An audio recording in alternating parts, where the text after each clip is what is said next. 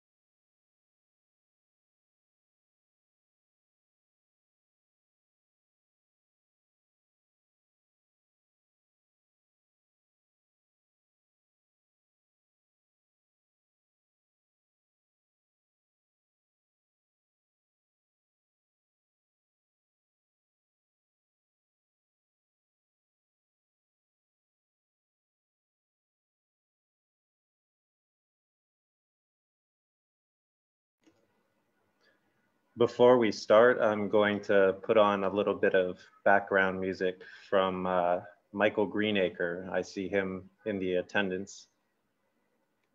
So thank you, Michael.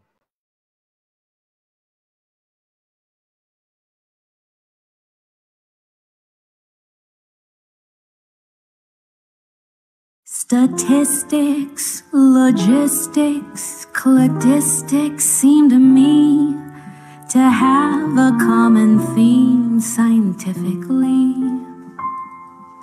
Economists, biologists with PhD degrees, they all need some proof of their theories.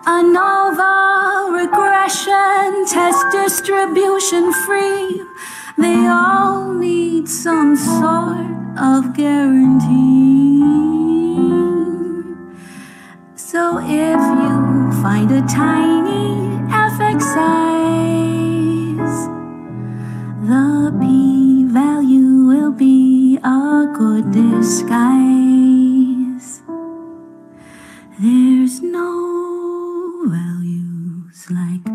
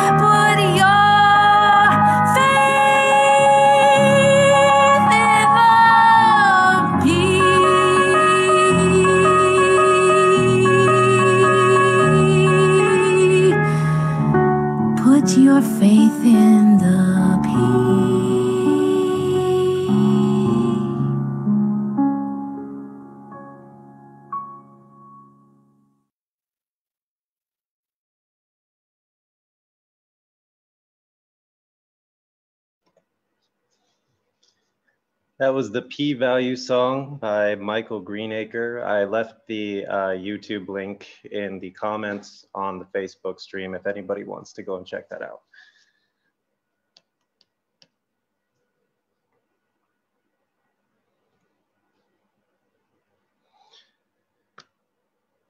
Kind of approaching the time now. So. Think we can probably get started earlier and I'll make some simple introductions.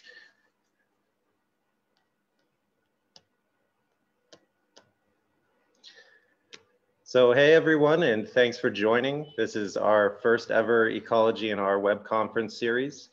Just to do a quick introduction of myself, uh, my name is Russell Gray. I'm an ecologist and R enthusiast like many of you.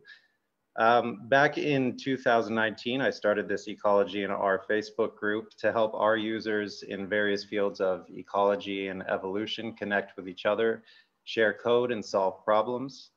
Uh, today, we have a little over 13,000 members ranging from new R users to expert R users from around the world.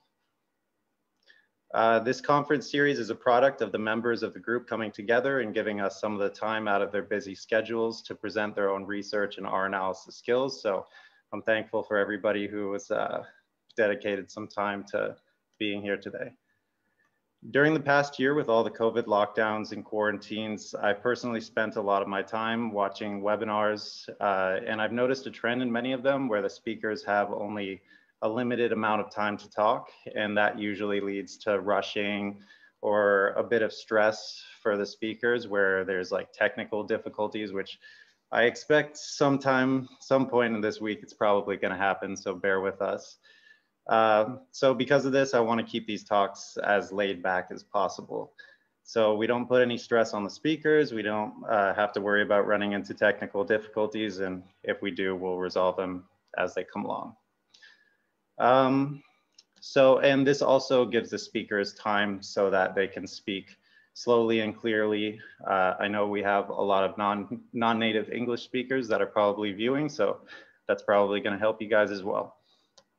Uh, after the talks, we'll be doing a question answer session where the registered participants on the Zoom can uh, ask their questions in the Q&A dialog box we ask that you please save your questions until after the speakers finish talking so they don't like pop up on the screen and distract them. Um, we'll also be live streaming the talks on the Ecology in R Facebook page. So uh, if we don't have too many questions on Zoom, I'll also go over to that and check if anybody has some questions there. Um, so when you put your questions in the dialog box, I'll read it out to the speaker just in case they don't see that. Uh, if there's too many, I'll just try to like grab one as as they're going, and then uh, they'll they'll answer you as as they can. So without a further ado, I'd like to introduce our first speaker, Alfredo Ascanio from Miami University, USA. I'll uh, turn it over to you now, Alfredo. Well, thank you very much, Russell, and thanks for organizing this uh, thread of talks. Um, let me share my screen.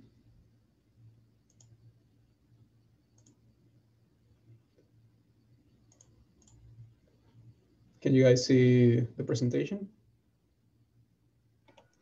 Yep, I can see it good. Okay. Um, well, first, I apologize. Uh, I'm a bit nervous. So when I'm nervous, I tend to talk uh, really quick. So I will try to uh, not do that today. Uh, I'll be presenting a, um, some work we developed while I was back in, in, in Venezuela around 2018 and 2019. Uh, and uh, we are going to deal more with the methodological aspects of it but i wanted to tell kind of the story of how we reach the question uh, we will try to to answer in here so that's why the name of the presentation is well from corals to complex networks uh, extending a measure of community assortativity to begin uh, we first need to define what a complex network is. So these tools are also called graphs. They are mathematical um, tools that help us visualize and analyze the components of a system and the way they interact with each other. The first element that will uh, be part of the network is what we call nodes or vertices, and they represent the system components themselves. These nodes can have uh, different attributes, uh, weights, uh, and some other variables uh, attached to them. The second element uh, of our network is going to be what we call links or edges, and they represent the interaction between the nodes. Uh, and these interactions can have direction, weights, and other attributes. To give you guys some examples, um, we can think about an ecological community and each node representing a specific species within that community or even a specific individual within that community. And then we can define what the interaction between those uh, nodes is. We can have uh, a plant pollinator network in which the nodes are uh, plant species and animal species, and the interaction is um, which animals are pollinizing which uh, plant species uh, we can have food webs in which we have a, a, very clear direction of the interaction and who predates on who, or um, we can shift that direction of the interaction to uh, address how the energy is flowing from one node to another. Um, then um, another example we can give is metabolic networks in which we can define the nodes as the different molecules within uh, that specific uh, system and the interaction being uh, how are they byproducts of each other. And within the, the, the, complex network context, we can be interested uh, in knowing what are the characteristics of these networks, which are uh, the, the, the, central nodes or the nodes that are more important to sustain the structure of our network, what are the, the edges or links that are more important to maintain that connectivity within our system, and so on. We have, uh, uh there are a lot of different properties and characteristics of the network that we can uh, analyze. And for now, we will focus on uh, network clustering. So once we have uh, built a, a, network, we can try to determine if there are groups of nodes that seem to be um, interacting more with a specific nodes than with others. So we can try to define uh, or, or, to, or to find some clusters within um, a given network. These are also called communities in the graph theory or complex network theory context there are multiple algorithms for clustering, uh, and they may depend on nodes, uh, edges, their different weights or attributes. And one of the problems or, or the main issue that we will talk about uh, later in this presentation is, well, how do we quantify the robustness of our community detection in a given network? Uh, in other words, uh, can the structure of a community arise at random within uh, the network that we built or not? And part of uh, how did we reach this specific question has to do with corals. So the, the first thing we tried to do and, and how we reached this problem was because we tried to build a, a coral disease research network. Uh, we wanted to make like a, a review in a, uh, using a different focus or a different scope. Um, so this work was actually published in 2019 under the name of Systematic Review and Meta-Analysis of 50 Years of Coral Disease Research Visualized through the Scope of Network Theory. Um, in this particular uh, work, we will uh, we review a lot of uh, literature since like the 65, I think, uh, and we had around 700 or more papers. Um, and then we, we, we built a network uh, given um, some topics that appear in those uh, papers. So the first element of our networks were nodes, and these nodes represented research topics. And we had four categories of research topics. So we have coral disease that was studied in a given paper, the genus or multiple genera that the study uh, tried to um, reach. If there was a sampling in a specific marine ecoregion, then we extract that uh, ecoregion and what was the objective of the research. So whether to assess the effect of temperature in the progression of the disease or study the histopathology of a given disease on the coral tissue and so on.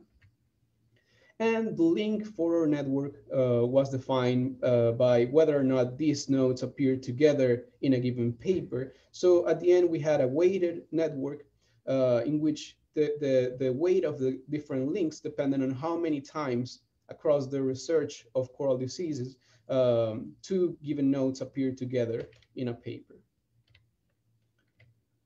Uh, as an example, um, we can have uh, for uh, one study in here that, for example, was trying to determine the effect of temperature or, or to uh, assess or, or, quantify the, the effect of temperature on the progression of yellow band disease in the genus Orbicella um, with a sample uh, performed in the Southern Caribbean marine ecoregion.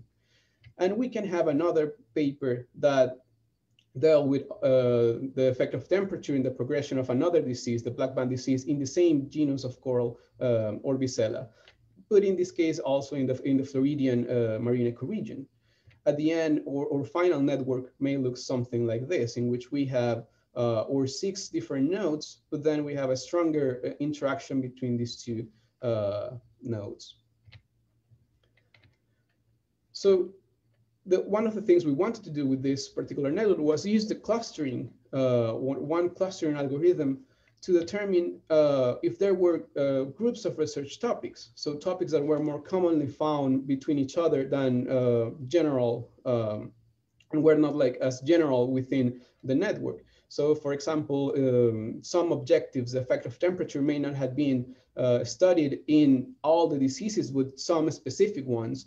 Uh, and so we can find also or detect absence of interactions between certain topics or groups of topics.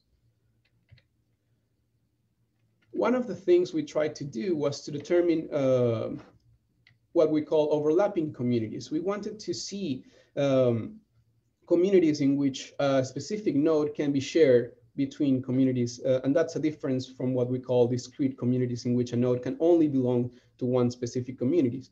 We consider that this was a, a more realistic approach to how the groups of research uh, in, in, in, coral disease uh, applied.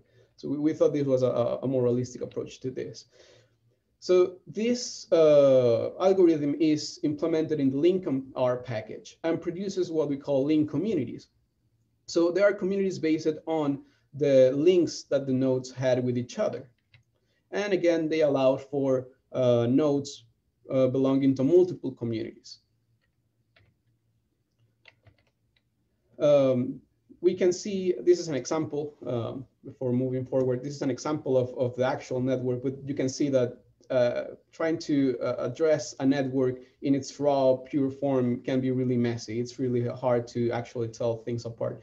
So uh, a bit of the of different visualizations we can make from that is uh, this plot in which we can see the, the 15 different clusters that we found in the previous network and how many nodes were shared between them, uh, given by the, the weight of the edges. And this is another way to visualize uh, the network. Each of these columns represent uh, a given cluster, uh, and each of these rows represent a given node within our original network. So we can see that these allowed for overlapping uh, presence of a given node within different communities. And this may happen, um, for example, if we grab if we grab white syndrome, uh, White syndrome might have been studied in different coral genera. So for example, in Acropora and Montipora genus. Um, but then the objectives of the research in both, uh, in these different uh, genera uh, might have been uh, very different across ecoregions or across uh, the, these particular species. So that, that was one of the main reasons why we wanted to see that possibility of overlapping instead of assigning um, or constraining each node to just one specific community. So we go back to the problem that we mentioned at the beginning. So how robust was our community structure detected within the network using this algorithm? And different metrics to quantify this robustness or, or, or this um, randomness or non-randomness in our community detection exist. Uh, for example, we have the network modularity, we have uh, the network community assortativity, and there are other metrics. The issue here was that these, uh, these indices or metrics were developed thinking on discrete communities. They don't really were made to account for overlapping uh, communities in a network. So the question was, well, can we apply one of these metrics or extend one of these metrics to overlapping communities? And then we, we focus on, on Shizuka and Farine uh, metric that's called community assortativity. From now on, I will call this RCOM. Uh, in their paper, they offer some supplementary materials uh, that contain the one script, one specific script that allows us to kind of see what were the process, what was the process that they were making and, and try to implement it to our empirical network. Um, originally, this method is a, a, bootstrap method. So it resamples the network multiple times and try to, to, to find um, that, that answer on, on whether the community structure uh, can arise from random or not. The range of the metric goes between minus one and one. Uh, that's uh, the definition of assortativity, uh, the regional assortativity, and the implementation that Shizuka and Farine did uh, on their own community assortativity, in which one will represent a, a completely random assortment of nodes in clusters zero will represent a non-random assortment of nodes, organization of nodes within the clusters. So uh, whenever we detect uh, communities, we would like to have values as close to zero as possible. And they mentioned that in some rare occasions, we can find values lower than zero. This is kind of a, a rare thing because that means that in, in the different bootstrap resamples of the network, two nodes that appear together in the regional network um, will appear in completely different communities uh, in the bootstrap sample. So it's it's like saying there is a possible uh, community structure, but it's completely different from what you saw in your empirical network. So how does this original uh, index uh, is made or, or works? First, they generate uh, a k number of bootstrap networks and apply the clustering algorithm to each of them. So in this case, when we make a bootstrap, a bootstrap of the network, some nodes and some edges may disappear. No new edges will be created. That's one of the constraints. So we are only um, changing the number of nodes and the, the strength of the interaction between them, but not creating new interactions between the nodes. And then they try to um, build uh, three matrices, mainly that, uh, that matrix that we will call PIJ. So this matrix um, comes from or results from uh, using this MIJ matrix. This is a co-membership matrix that results from each bootstrap network in which uh, each pair of nodes will have a one, a value of one, whenever they share the same community in a bootstrap network and zero whenever they don't share that uh, community. And then for that same bootstrap network, we will produce a CIJ uh, matrix that also called the co-occurrence co uh, matrix, in which uh, what we are trying to, to assess here is whether or not two nodes appear in a network, regardless of whether they uh, are members of the same community or not. So at the end, or PIJ matrix is going to represent the proportions of times any pair of nodes appear together in the same community along the different bootstrap uh, samples.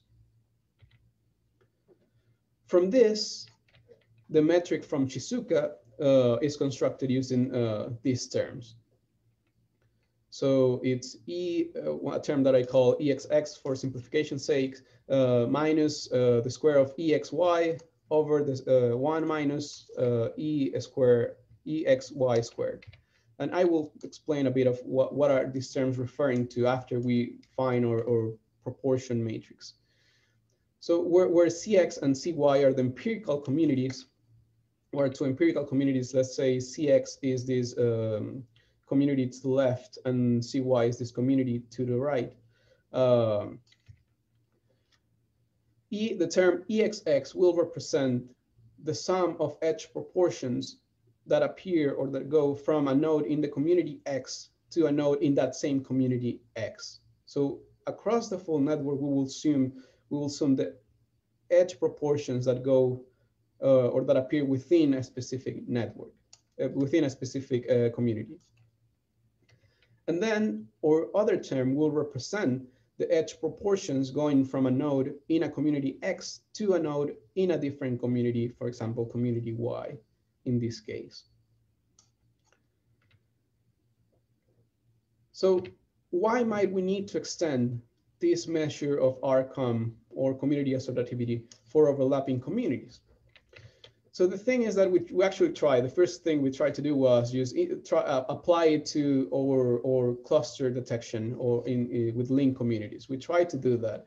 And there were some, some issues that happened. So um, from what I remember, one of the things was that the value of RCOM fall, fell outside of the intended range of minus one and one, which uh, makes the interpretation of these results uh, very difficult. So we, we, we don't know in, in this case, whenever uh, we're outside of the range, uh, what is uh, um, a community that a structure that arises completely at random and what is not uh, at random in, in a range outside minus one and one. So we try to think why this is happening. What is the issue uh, that is causing this to fall outside of the range? How can we correct? How can we make a correction to these terms to, to have or retain the same possible interpretation of these results.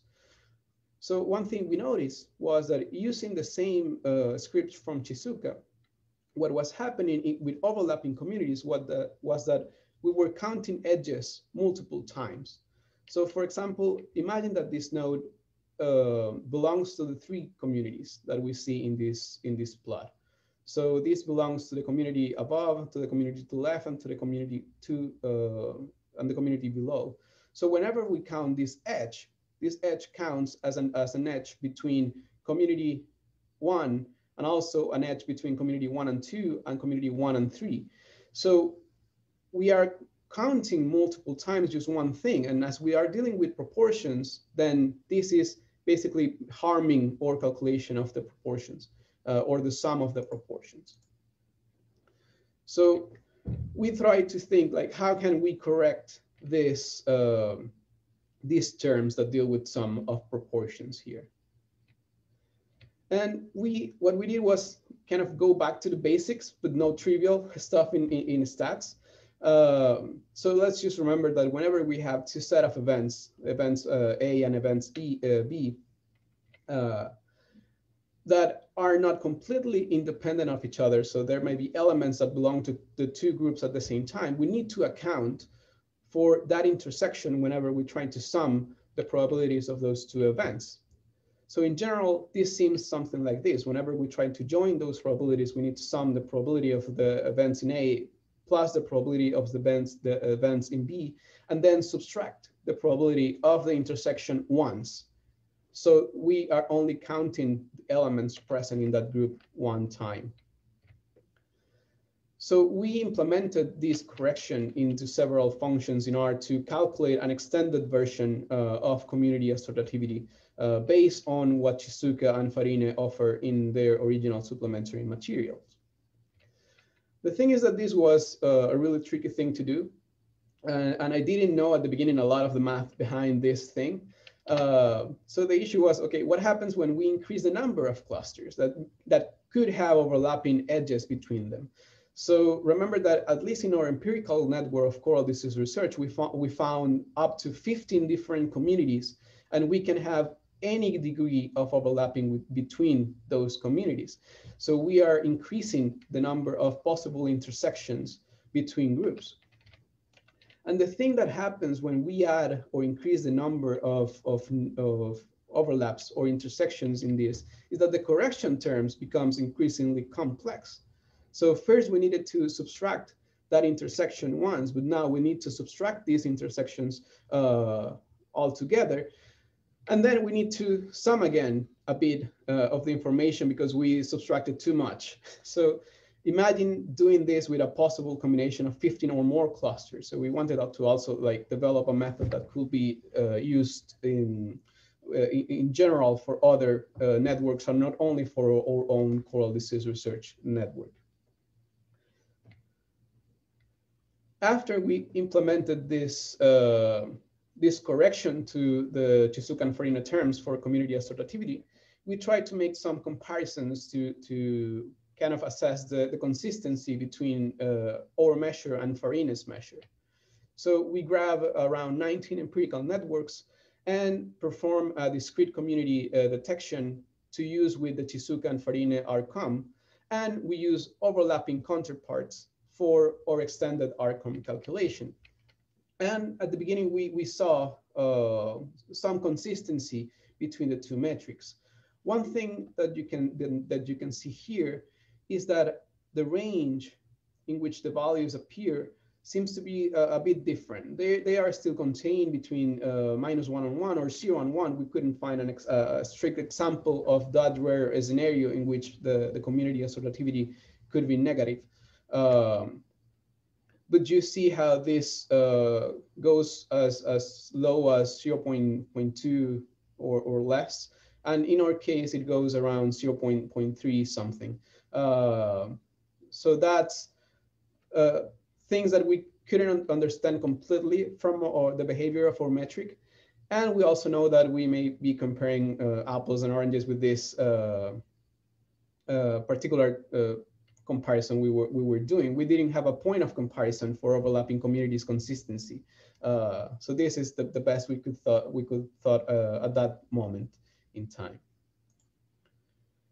And well, just to, to finish, uh, here's some caveats that we saw and next steps to, to, to do possibly. Uh, well, to deal with some conceptual limitations. I think that more theoretical discussion may be needed regarding or, propose, or, or proposed correction to the term are uh, to the terms in, in, within the community assortativity proposed by Shizuka and Farine in 2016. Um, also, other indices or, or, or, metrics may be adapted for overlapping communities, such is the case uh, of extended modularity proposed by Nicosia et al. in 2009. The thing is that this works very differently from, um, from the community detection that, that we apply. They offer their own community detection algorithm, uh, and is, if I remember correctly, um, they basically do like an optimization problem, which they try to maximize the modularity of the network uh, given um, the overlapping clusters they detect. So it's, it's a very different approach from what we're trying to, to do. And then we can we need to deal with some computational limitations. So as, as the number of detected uh, overlapping communities increase in a network and the networks uh, become becomes bigger, then determining all the possible intersection of edges requires greater computing power, and, and that may take a lot of time. And last, some are limitations is uh, or were uh, the lack of implementations of some of the available indices of community robustness in, in, in complex networks. So there, there, there was a lot of functions that, that we didn't, uh, uh, or that we felt were lacking uh, when we uh, studied other, other community um, kind of robustness quantities or that were implemented in R at the time.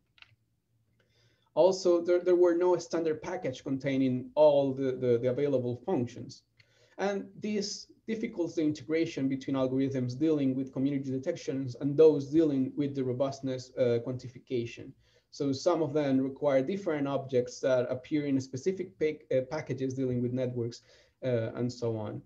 So yeah, th this makes uh, uh, this makes that functions in different packages might require different uh, R objects in particular. And I think that's that's all that I have for you today. Uh, thanks for your attention. Please ask any question. And you can go to uh, the GitHub of our project and check all the things we, we did, uh, or to the paper, and you can find all the process on how to build that specific network. I think we, we put all the, the data available in GitHub to replicate that. Thank you very much. Thank you. All right, so does anybody have any questions?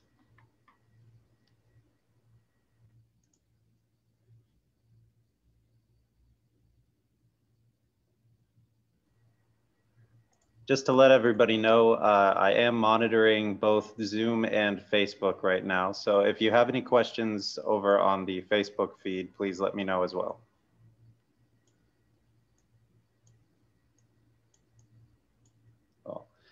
While we're waiting for people to type out questions, uh, I did have one myself on the okay. RCOM uh, when you described you K-cluster and Bootstrap. Um, do you said that you generate random nodes, correct? Random node connections. It's, it's what what it what we actually did did more than this. Like we tried to implement some permutation of of or or a metric to assess uh, randomness given permutation of links. Right. But the original method doesn't permute links. What it does is makes a bootstrap of the, of the network. So it's basically resampling the nodes. Okay. So no, no new connections may appear in the, in the bootstrap method. Uh, what may change is uh, whether or not a node appears and thus an edge may disappear or the weight of that edge, the, the strength of that interaction may be uh, lower than the empirical network. Ah, okay. That's what the, the original method proposed by, by Shizuka with the bootstrap. And does this uh, hold true across each of the clusters individually or each of the nodes individually, or are all of them in the same sort of iteration of randomness? Uh, I, I think I don't understand the question. Can you, can you? Uh, so you check for randomness and each of these nodes through the iterations of the bootstrap uh, either loses or gains an edge. A am I understanding that correct? Well, they, they can they can lose a strength of the interaction uh, kind of at random, depending on, on the bootstrap resampling. Okay. Okay. So no new connections may appear in this. We try to we try. I remember I remember that we tried to to to do a, a like a, a, different hypothesis basically of randomness. So like what what could happen if we have the same uh, nodes with the, with those uh, attributes uh, and kind of the same links, but what if we permute the links? Do, will will we find um, a, a, similar community structure or not, given uh, similar nodes and and and random links between those nodes, uh, keeping the weights. So uh, yeah, that's we, we try to do that. But I, for this, I wanted to like keep the things a standard with the bootstrap uh, that that they used at the beginning. Okay, thank you. That that definitely answers my question. We have another one from uh, Edward on Facebook who asks, where do you find the locations or coordinates for doing the analysis? Um, I'm. Can you repeat that? Uh, I'm not sure I, I myself understand. He says, where do you find the locations or coordinates for doing the analysis? Oh, okay. Yeah, I, I, that was a lot of a lot of like manual work. So uh, we just went to the paper and tried to, to see which which was the side of the country or, or the country or something that in, in which the sample was made. Uh, and that was for, for the ecoregions. I don't know if you're asking uh, about the, the coral part of the network part. Um, but at least for the ecoregion, we just went to the paper and and kind of uh, assess uh, the, the country. And then there is another paper that offers the marine ecoregions of the world, and we just match uh, those things. So we, we had the, the standard marine ecoregions rather than a specific coordinate for each uh, paper. Okay, and we have another question from one of the attendees on Zoom who say, uh, it was a very interesting presentation, thanks. So they're thanking you. And you said that in the iterations, the strength of interactions changed too. Do you ensure that all nodes have at least one connection? No, that, that's the thing. Like some nodes uh, in, in the bootstrap method, uh, the original bootstrap method, some nodes might disappear. It's like in, this animation that I put here, like if we do this, the bootstrap resampling, we may, we may uh, not sample like this specific node, for example, may not be a part of our bootstrap, of our K bootstrap. So when that happens, those edges with other nodes also disappear. So that, that's part of, of what's allowed in, in, in, in the bootstrap. Okay, and we have uh, another question from Augustine on Facebook who asks, is it possible to test other mechanisms structuring the communities, for example, abundance or any other node trait? Well, yeah, like other other measures, for example, I think uh, modularity or the um, the original assortativity. There is a, a measure uh, that, that measures like the property of the of the network called assortativity, aside from community assortativity and and that for example tests nodes that are similar um, like it states that nodes will be connected mostly with other similar nodes. And you basically can define what the similarity is. So uh, for example you can you can do that with abundance of populations. So maybe populations that are really big will be really connected with populations with other populations that are really big and then smaller populations we have uh, will have less uh, connections with other uh, bigger or smaller populations. Uh, in, in, if we are talking about nodes as populations, for in, in an ecological example, and uh, those matrix, those uh, met metrics or quantities do exist.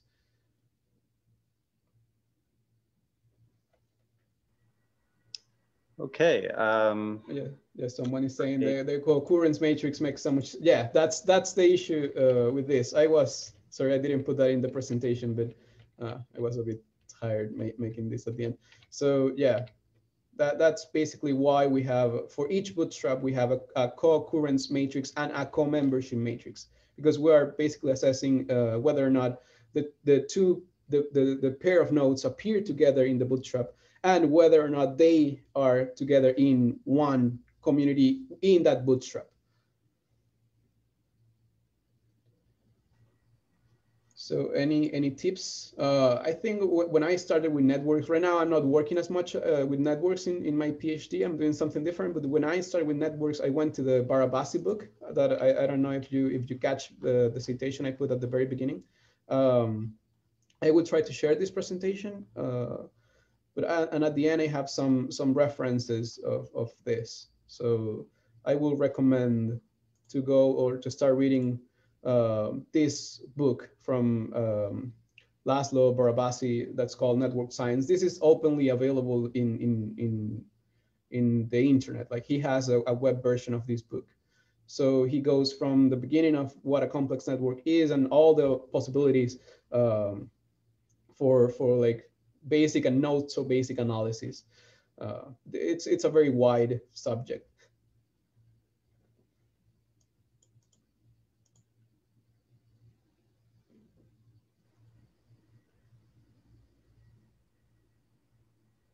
Okay, so I think that might be it for the, the questions. If there's any more, please feel free to ask before we move on.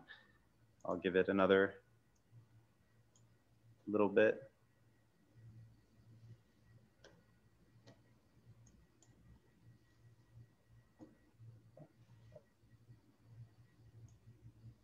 Oh, uh, do you see the other question? Yeah, I from? think, uh, suppose I want to see relation, the relation how feeding guild of bird community interacting with each other in different habitat, does some somebody need presence, absence, or abundance data for network analysis? Like um, uh, in, in my in my undergrad uh, thesis, I did some food webs. Um, and in, in that case, I, I just put the presence of the interaction and try to uh, and the and the the direction of the interaction. So who, which species were eating or which groups were eating which other uh, prey items. Um, and you can do something like a, a, basic, again, basic doesn't mean trivial. It, it takes a, a bit of time, but like um, a basic simulation of, um, so we, we have, for example, let's say we, we have a measure of connectivity in networks. There is a connectivity or connectance uh, property of the network, and you can measure that uh, quantity. So you can make a simulation in which you uh, drop one node at a time from the network. So you drop this node and see how much the connectivity of your network changes. Uh, so was the, the connectivity dropping a lot? Or did the connectivity for some reason increase? Uh, did it remain kind of the same? And you can kind of uh, measure which, uh, in, in that basic network structure, which uh, group, guild, or species seems to be uh, the more, the most important one to maintain the connectivity within your network. And there are other more complex simulations of like secondary extinctions. And there are a lot of papers in, in food webs that you, that you can make. I don't, I don't know if that, that answers your, your question. Uh, but you can do that with a, a presence absence of the interaction. Uh, you may do more complex simulations, adding all the strength, like how much this guild is eating this other guild, and and you can add like that uh, attribute of, well, how much energy from the ecosystem overall is passing from one group to another. Like this can get really, really uh, complex.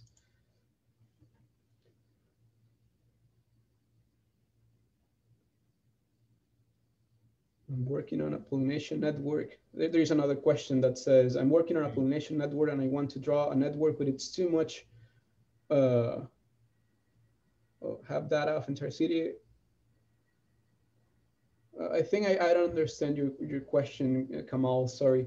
Um, but for, for uh, plant pollinator networks, uh, I think you can use what we call a bipartite, bipartite network. I don't know uh, if I'm pronouncing that right. I will make just a note, a really quick note here. It's called bipartite network. And I think my, my the, the other panelist that's coincidentally also like he was the, the, the first author on the coral uh, research network disease paper, um, uh, he will present something relating to like a bipart, uh, bipartite network. Uh, so you may search how to organize your data in, in, in that way. Uh, I don't know if, if, if that helps uh, too much or not. Okay, so I think we'll take one more question if we have it and then move on to our next speaker. Anyone else?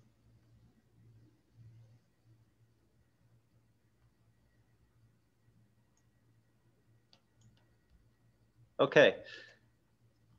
So um, our next speaker is Luis Montilla from Anton Dohrn Zoological Station, Italy.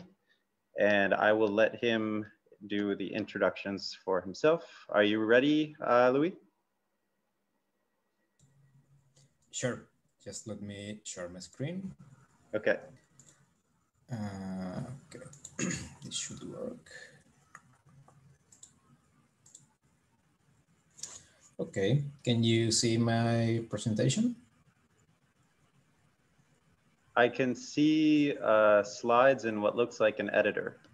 Ah, okay. So it's switched. Okay. And now? No.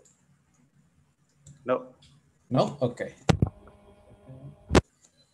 Let's unplug this.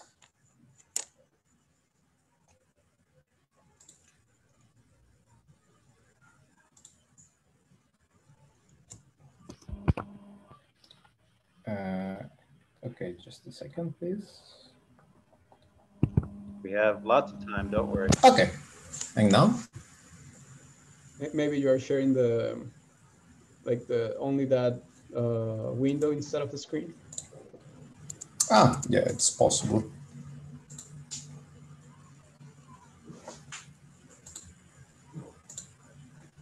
Oops. Ugh.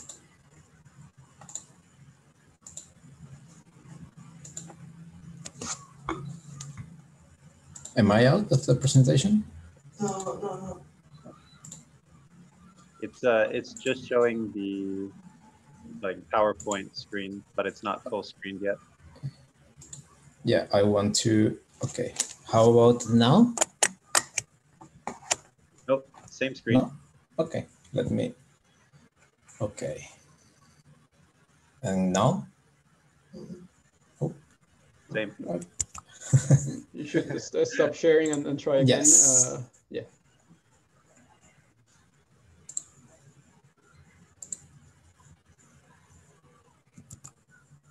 Oh, I see. I'm going to share this. And now, okay. Can you see it? Yep, you got it. Okay, perfect. okay, thank you. Well, thank you everybody for uh, having us. I'm Luis Montilla. I'm a PhD student at the Stazione Zoologica Anton Dohrn in Naples, Italy. And I'm going to talk to you uh, a little bit also about networks in uh, marine ecosystems. And specifically, I'm going to talk a little bit about um, a little idea that we had to uh, create this uh, network of invertebrate and microbe associations in seagrass beds. That it's part of my research project. So to give you a little bit more of context, uh, I'm interested now in working it with uh, coastal marine ecosystems, which are very important because uh, they act as hotspots of nutrient cycling. Uh, in particular, for example, nitrogen, which is my, my main interest now. And one of the most interesting interactions that you can find in, in these ecosystems uh, are uh, what basically the interactions of uh, macrofauna with the sediment and with the microbiome or the microbiota that you can find either as free living microorganisms in the sediment or also as symbionts. Uh, in particular, because uh, these organisms uh, can create different fluxes of uh, gases, of uh, fluids in the sediment. So you are, they are basically altering the, the different processes that uh, can happen here.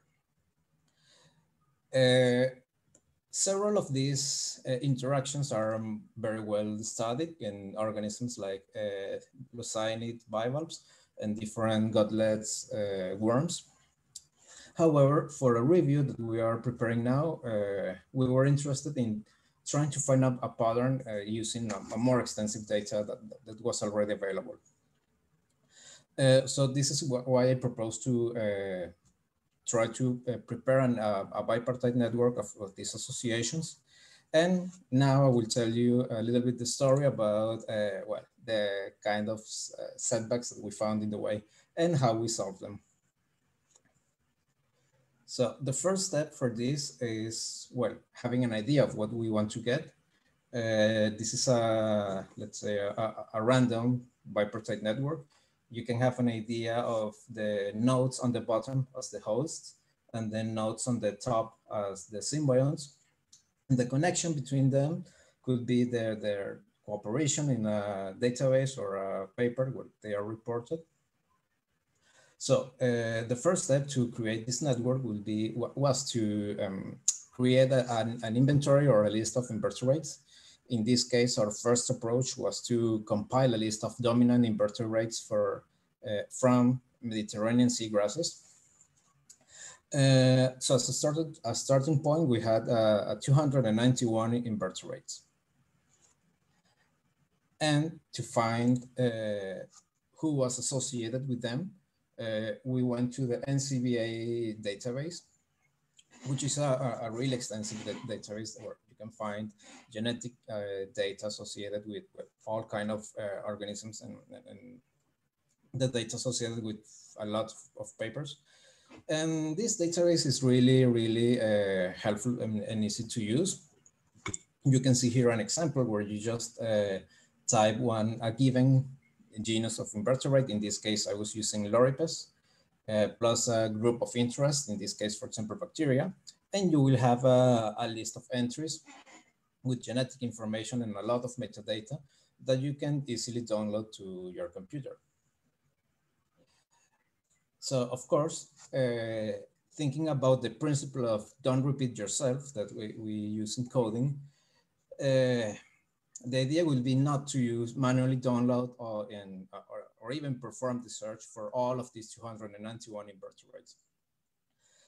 So in R, uh, I found that, that, the package rentrez uh, was providing a, a, lot of functionality to connect this database with the code that we wanted to uh, apply and basically perform all the download all the data uh, automatically or more or less automatically. And this is where it starts to, to become interesting because we found the first setback. Uh, the information that we specifically wanted was coded and, uh, as a specific qualifier in the database. So you can see here uh, an example of a very specific uh, result, also from Loripes. So you can see that all the keys are very well defined. But then we were interested in this key that you will find here at the bottom uh, called host. So this key is typed inside the features section, which is uh, also nested within the source section. Uh, so this is more or less complicated to, to retrieve from the, the code that the rentrez package was allowing us to do. But we went on base because basically uh, at this stage we were retrieving the data. So to perform the automation, we wrote a more or less simple loop. Basically, we were uh, using the, the function to retrieve all this data to all of the, the genera that we compiled and storing all of this information in a variable. So, so far so good. And then we were repeating this for all of the five groups of uh, symbionts that we were interested into. Uh, for example, bacteria, archaea, viruses, fungi, and eukaryota.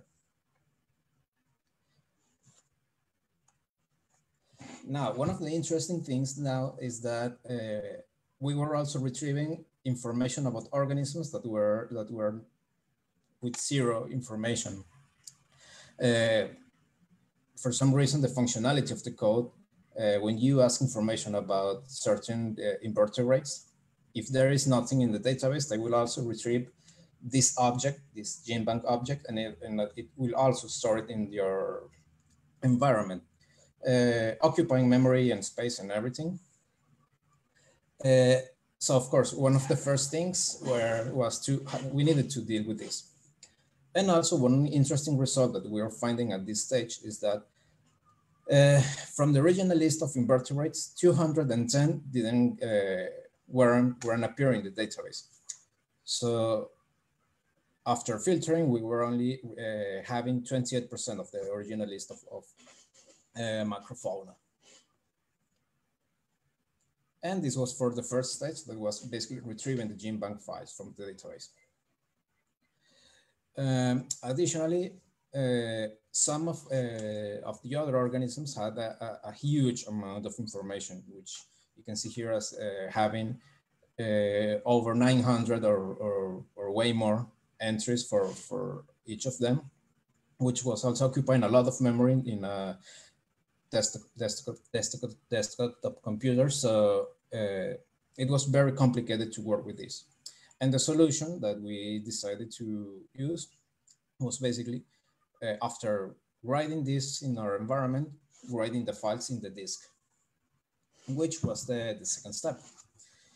Uh, for this, we also uh, we also had to use a, a, manual step because these particularly large files, uh, it, it, was easier for us to uh, go back to the original database, to the NCBI database through the web browser and download everything by hand because the number was uh, relatively slow. It was uh, around 10 or 10 genera. So we decided to use that approach because we also had, we were, we were able to identify this, this list of, of invertebrates. So you can see here an idea of the input or the output, sorry, in the, in the R console as you can see, the file is not uh, necessarily well organized.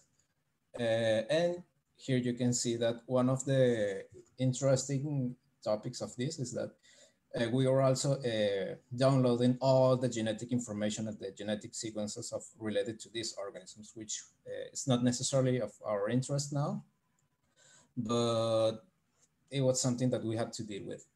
And somewhere in the middle of the file, we had the, the host information that is what we wanted to get. So one possibility in the future is that maybe we can try to extract this information using uh, regular expressions, but at the moment, when we were starting to do this, uh, we decided to go on with the more traditional approaches.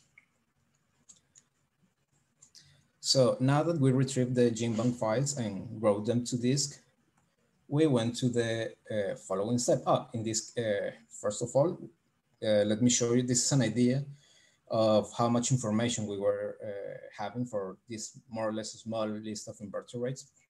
We were having over uh, 160 gigabytes of information, partially because all the genetic information that we were, that was associated to the GenBank files.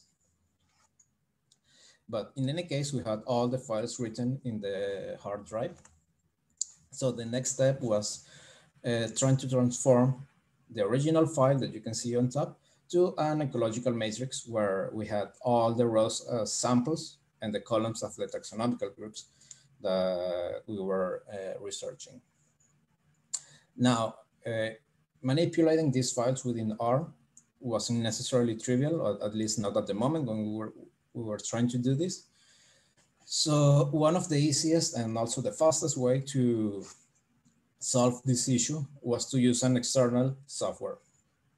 In this case, we found that the program called uh, GBK2FOSS, which is from uh, this author, and you can uh, download it freely in, in, this address, was specifically designed to perform these transformations. Uh, however, we, there's also a new setback. Uh, you, if you go to the website, you will see that uh, there are two different versions. one that is called by the author the old version, and let's say the new standard version. So if you are working on Linux, and if you try to use the new version, you will see that it depends on a library that it's either deprecated or it's not working, but uh, I, I, could, I couldn't find any way of using it. So I switched to the what the author calls the old version, and it worked on in Linux, but uh, it didn't provide all the metadata that uh, I wanted, specifically the host information. So in the end, the solution was to switch to Windows and use the new version. And then at, at that stage, I could have the uh, ecological matrix with all the files merged in a single matrix. So then now that we have this uh, matrix, we, need, we needed to re-import this to R. Uh, you can see here in the environment uh, an idea of the size of this matrix, which was basically over a million and seventy hundred thousand rows. It was ex extremely huge. Uh, but of course, we were expecting this that also, and we were also expecting that the, the final data set was uh, smaller because we were expecting to do some cleaning. So the first stage was to uh, clean the information about the host. We were verifying the, the, the taxonomical uh, validity of the names. Uh, we, for this, we were using the package worrms, which lets uh, let us perform queries to the World Marine Register of uh, Marine Species. And when we were performing this uh, cleaning of the hosts, uh, for example, one of the cases that, that, that, or one of the issues that we found was that uh, some of the rows had the, the column host uh, a value called unknown.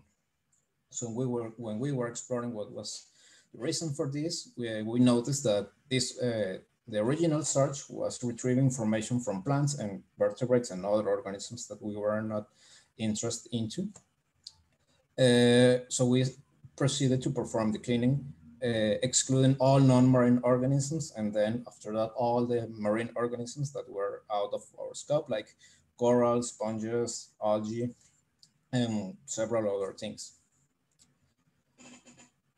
Then if we had to clean the host, we also had to clean the, uh, the symbionts which in this case, uh, what we had to do was to uh, bring everything to the lowest taxonomical resolution and also the, the taxonomical resolution that was more or less common to all the different groups. Uh, of course, it wasn't possible for all the five large categories that we had, but uh, well, we had to uh, reach a compromise here. So in any case, uh, our final file had 39,000 rows, which was less than 3% of the original database. So uh, that gives us an idea that the so far the approach is not necessarily the most efficient. Uh, it's performing the work, but uh, it has a lot of room for, for improvement. So we were then we were using the package iGraph to start to actually build the networks. Uh, so if you, you can see here the original hypothetical network that we were envisioning, and on, your bottom right, you will see the, the actual network that is derived from the data. Don't pay too much, uh, too much attention to the names that of course the resolution doesn't allow it to. Uh, but you can see in the bottom nodes uh, that there are two different colors. This is because we also started to add some attributes.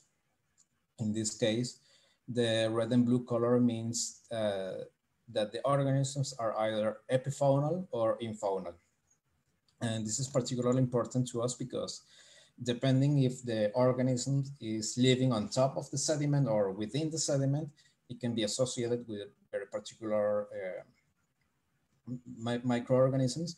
And of course, the processes that they are uh, participating into are also very, could be very, very different.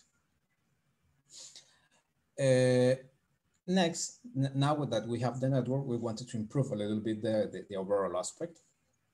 So for that, uh, we decided to use the package class, which uh, allows to perform to or to build these uh, chord diagrams and I will show you the overall aspect of the network so far. This is a network that is uh, represented by 112 nodes, from which 53 are invert, uh, 53 invertebrate genera, 21 are epifaunal, and 32 are infaunal organisms. And of these nodes, uh, 59 are microbial groups. Uh, once again, I call them microbial groups because not all of them have the same uh, taxonomical resolution. But I can tell you that, for example, 28 are bacterial nodes, uh, 17 are eukaryotes, 13 are viruses. And one interesting thing is that only one node corresponded to archaeas. Uh, you can see here the, the tracks for these groups. And then we can plot nicely the different uh, interactions. Uh, so of course, this is more or less an exploratory uh, visualization, but even at this stage, we can start envisioning a couple of a, couple of patterns. For example, you can see that the edges or the links in red color that represent the epifaunal organisms seem to be mostly connected to eukaryotes. And there are also some other interesting things, like for example, the bacterial class Gamma proteobacteria is very dominating in the bacterial groups. Uh, but in any case, uh, this is a, a, visual exploration. If we want to draw uh, proper conclusions from this, we need to uh, perform a uh, quantitative analysis. So we try to, uh, for now, perform a, a community analysis as Alfredo was describing before me. Uh, at the moment, we are only performing discrete communities analysis because it's very preliminary. But even at this stage, we are finding some very interesting things. Uh, we found eight different groups within this network. Uh, I'm not going to extend in all, to all of that, uh, but I will show you two of the most extreme cases that we found so you can have an idea of the results. One of the communities that we found, for example, was constituted by only one uh, invertebrate host, in this case, the, the sea urchin of the genus Echinocardium, which was uh, connected to this more or less large diversity of uh, microbial symbionts. which is probably giving us an idea of uh, not very intimate symbiosis, that this is probably a community that is linked to the organism, but not necessarily very interdependent. And then on the other hand, or on the other extreme, we found this other community where you can see that uh, there is uh, also a large range of uh, invertebrate hosts that are connected basically with this specific group of, of bacteria, of, of gamma proteobacteria. And if we pay a little bit of attention to the names that we can find here, we, in, if you are working in this field, you will be able to recognize some of the model organisms that are typically studied and found and, and are recognized as organisms that are highly dependent of the gamma proteobacteria for their metabolism in anoxic areas. So for now, uh, well, this is what we have. And the next steps uh, are basically to expand this search to include uh, invertebrate hosts from other marine ecoregions of the world. Uh, ideally, we would want to uh, add additional attributes to the network to perform uh, more uh, complex communities. And of course, uh, it, is, it is of my interest to optimize the code. And there are some promising steps in that direction. I've found this package called biofiles, which uh, has the, the, the, main advantage that it's letting the user to uh, exploring in much more detail the table of attributes. And in this case, it, it's giving access to, for example, the host information that is what we wanted. So we can probably uh, perform all of this search, excluding all the information that it's not uh, relevant to us. And with that, I will conclude my presentation. Thank you so much. And I will try to answer all your questions if there's any. Thank you. Thanks for presenting. Uh, I can say from experience dealing with some of uh, like the newer and a little bit more messy APIs, I've also had that issue where you get like a return with just massive, massive amounts of information.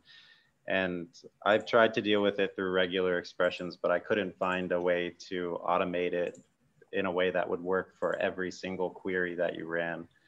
So I'm glad that you you did this work. Yeah, it was not easy, but well, so far we have a, a, a product that we can use to to actually uh, analyze the data.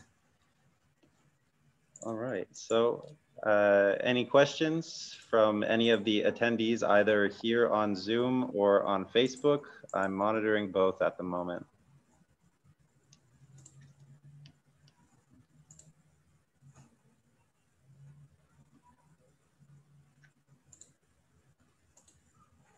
Hmm.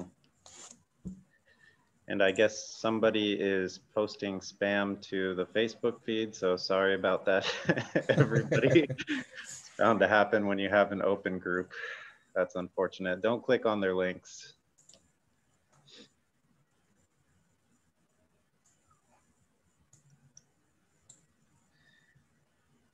Um, give it some time. There's a little bit of a lag between the feed here and Facebook as well. Sure.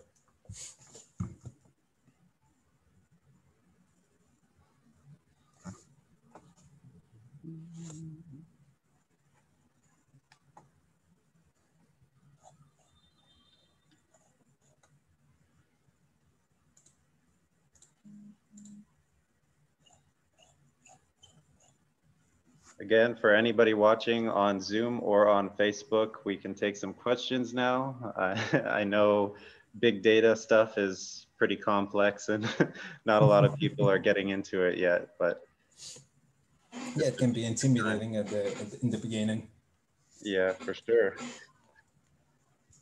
Well, I can start it off. Uh, did you have to use uh, an HPC for for your work? Um, did you do it in smaller increments while you were writing the code uh, and running it, or did you just have a computer that was memory intensive enough to to carry all that data without R crashing on you every second? Yeah, exactly. Well, uh, I had to optimize a little bit the code because Uh, in the beginning, I was just trying to perform all the search and download everything. And of course, the uh, R was crashing very frequently. So I had to divide uh, eventually the code in uh, smaller chunks that were more efficient with the memory. Right on. Uh, we have a question from the Facebook feed. Uh, they asked, do you intend on uploading your code on GitHub or will you do that later on? Absolutely, yes. Um, yes, I want to share all of this, but uh, it's not public right now because it's very preliminary. So I think there, there's a lot of things that I need to improve first, but yes, eventually this will be available as part of the, of the manuscript. Okay, and we have another question from Mateo that said, um, I didn't see where there was seagrasses in your research. Did I miss them or will they come in the future? Uh, no, I mean, for now in, in this network that I'm presenting to you, the seagrass component, let's call it that way, it's basically that all of the invertebrates that I was using for the search are living in the seagrass environment, either in the sediment or within the sediment, but associated with seagrass beds. So, and after when we perform the, the, the more extensive search, uh, we're also going to include invertebrates that are only associated to seagrass beds.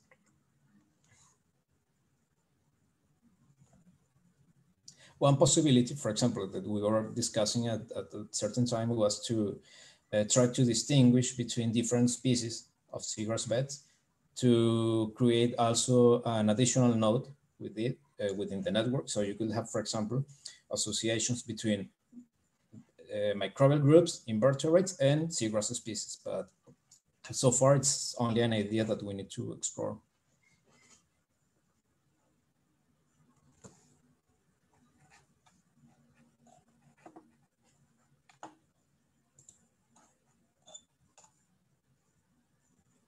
Uh, I can see a, a, question here from Evangelia. Mm -hmm. nope, not to any of those questions. I didn't use parallel programming and I didn't use a GPU. Um, I would love to explore the idea of uh, uh, parallelizing the code, but uh, it's something that I'm still learning.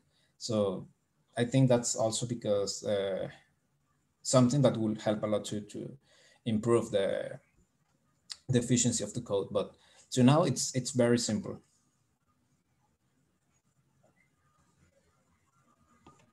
We have another question from Bob on Facebook uh, who says, perhaps it's not about the analysis, but I'm more interested and wonder when you collect samples for this purpose, how do you separate the outer microbial symbionts from the inner symbionts? Mm -hmm, mm -hmm. Uh, well, it can be complicated depending on the organisms. Uh, for example, on bivalves that uh, they are better studied, uh, the, these microbes are specifically located in the gills of the bivalve. So you can dissect the organism and separate the, the gills from the rest of the body. And then you that's how you can get a, a, a tissue that is enriched on the symbionts. Uh, for example, for other organisms like polychaetes, you can either try to rinse them or wash them to remove the epibionts.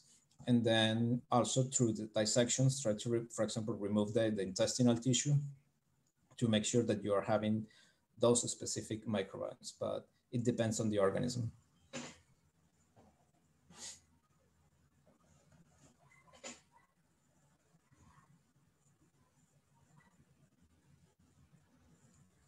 Okay, I see here a question from Laura. Uh, is GBK too fast useful to merge that biome data that can be got from sequencing and your metadata in order to have, uh, for example, that CSV to be used in R? Um, I haven't used it for this biome data, but I suspect it, it, it can be useful because uh, it was designed, as far as I understand, to perform a much more complex task that uh, what I was doing. Actually, the, uh, what I, the, the reason that I used it was basically because uh, it was one of the typical tasks that, uh, one, one of the typical functions. So I'm sure that it can do much more complex things. And of course, it's free to download, so it, it's a matter of download it and trying to use it.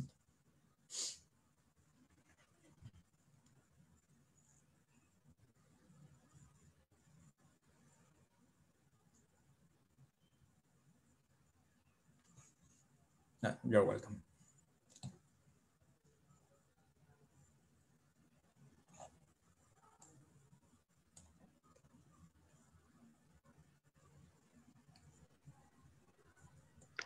All right, so we'll give this another minute for uh, the other Facebook feed to catch up so everybody sees the answer and maybe we'll get more questions and then we can conclude these talks.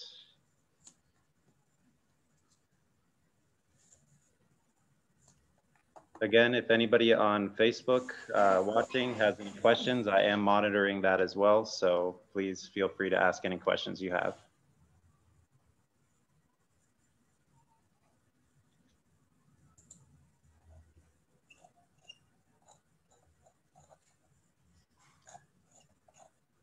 Okay, it looks like that might be it. Are you good? Okay, good. All right. Thank you so much. Thanks everyone for uh, coming out. Thanks both of the speakers for, for coming and giving us awesome talks today. Uh, I do want to say we, um, we had it brought up in the Facebook feed that there's apparently a bunch of people who accessed the open feed and started spamming everybody with links. So do not open those links. You'll probably get a virus. Sorry about that. Um, that that's on me. Next time I'll probably have to set the group to private so people don't share it. Uh, I should have saw that coming, but you know, live and learn. Uh, all right, so if there's no more questions for either of the speakers, we'll finish this up for now.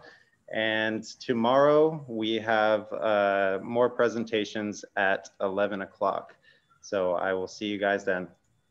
Thanks, everybody. Thank you very much. Thanks. See you.